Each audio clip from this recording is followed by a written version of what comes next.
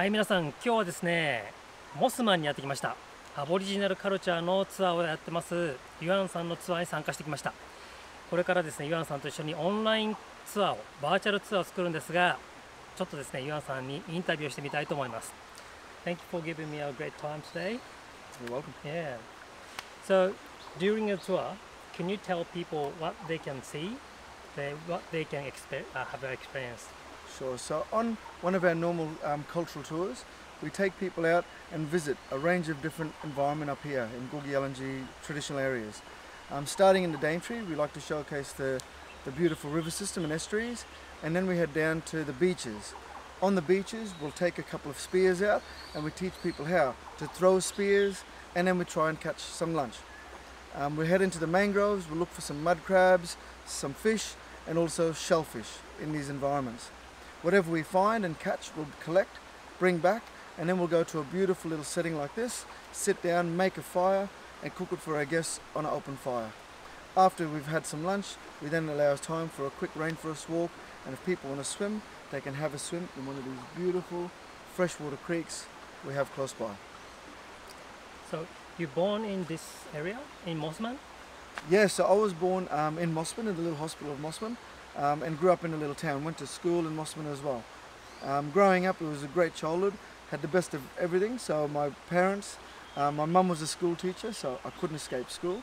Um, and then on weekends, Dad he worked for Parks and Wildlife, so he'd take us up into the forest um, and up into the remote areas, and let us run around through the forest and enjoy this beautiful place we live in. Okay. So how did you learn your culture?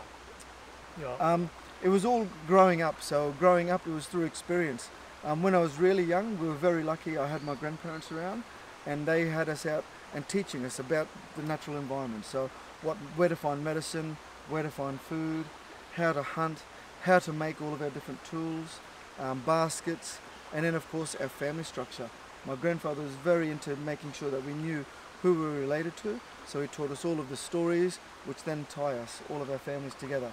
So um, basically through oral teachings and being out on country, learning about the environment is how I learned. so the, on the tour, the people can learn that things as well. That's right. So I try. I'm not allowed to teach people too much detail, but I try and teach people the basics. So um, basic medicine, basic food, how we, how our families tie together, and some cool, um, beautiful Dreamtime stories as well. After school, what did you do? Um, so after school, I worked for Parks and Wildlife for a little while as well, um, out in the national park areas, so in the Daintree Rainforest.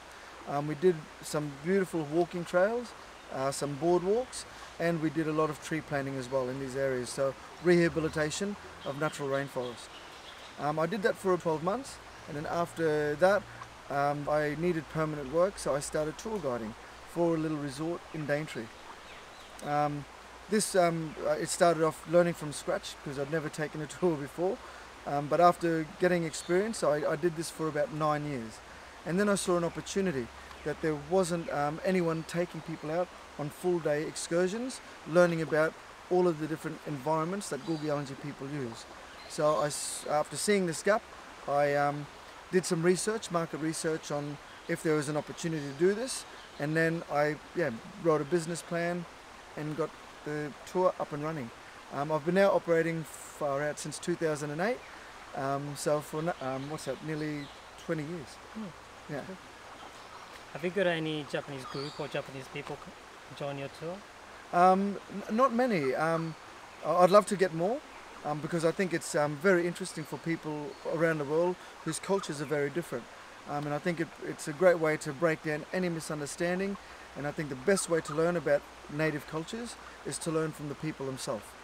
Um, but yeah, it'd be great to get more Japanese people to come and, and do these tours um, because at the moment I've only had um, small family groups coming out and doing tours. Now have got the chance to learn your culture and your tour in online. That's right. So hopefully we can kick off these virtual tours um, where people can still learn about Aboriginal culture sitting in their lounge room or sitting at their computer. Um, so um, we'll be taking people out and filming what we do on our normal tours in their natural environments so people can get a first-hand experience of what it looks like running around in Kuku Yalanji country. And once the, the border open, would you like to say something to Japanese people?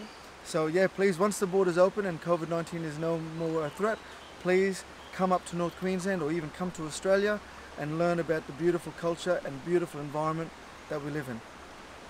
Thank you. Yalada, jomonajo, ジョモナジョじゃあね。 jane, jane.